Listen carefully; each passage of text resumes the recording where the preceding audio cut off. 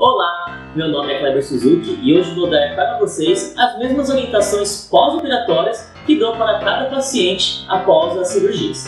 Lembrando que a sua participação seguindo essas recomendações é fundamental para a sua recuperação e sucesso do seu tratamento.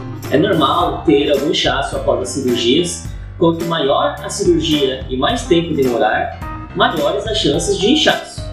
Por isso, Coloque encostado em seu rosto uma bolsa de gelo o mais rápido possível na região operada durante 10 minutos com intervalos de 5 minutos.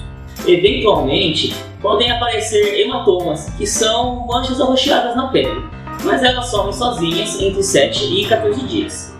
É normal sangrar no começo, mas evite de fazer bochechos ou ficar cuspindo muito forte. Você vai reparar que vai formar uma gelatina no local da cirurgia. Essa gelatina é como se fosse a casquinha que forma quando machucamos o braço. Se você tira a casquinha, volta a sangrar até formar outra.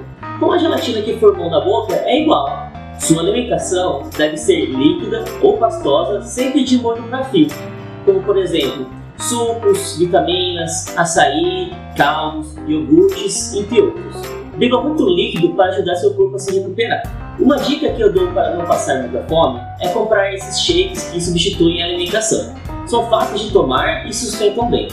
Reduza a atividade física nos primeiros dias e evite ficar no sol, assim como exercícios físicos. Ao deitar, sempre deixe a cabeça mais alta que o corpo e coloque uma toalha no travesseiro para não sujar caso babe durante a noite você irá escovar e passar o fio dental normalmente em todas as áreas que não foram operadas. Não bocheche para enxaguar a boca. Apenas coloque a água e cuspa várias vezes até sair todo o sabão e, ao final, coloque uma tampinha de bochecho à base de, de gluconato de clorexidina 0,12% e faça esse bochecho banhando toda a área operada.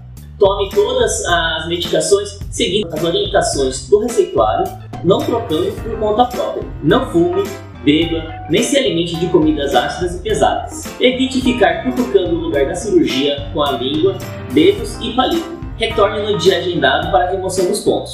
E avise imediatamente caso você sinta qualquer coisa estranha. Eu sei que são muitas recomendações, mas isso porque nos preocupamos com você e queremos que os resultados sejam os mais incríveis possíveis. Se acharam útil, compartilhe ou marque nesse vídeo uma pessoa que vai gostar muito de receber essa informação. E se você gosta de receber dicas 100% gratuitas e exclusivas sobre estética e saúde bucal, me envie um WhatsApp no número 63 99214 5426 com a mensagem Lista VIP ou me siga nas redes sociais. Até mais, um abraço!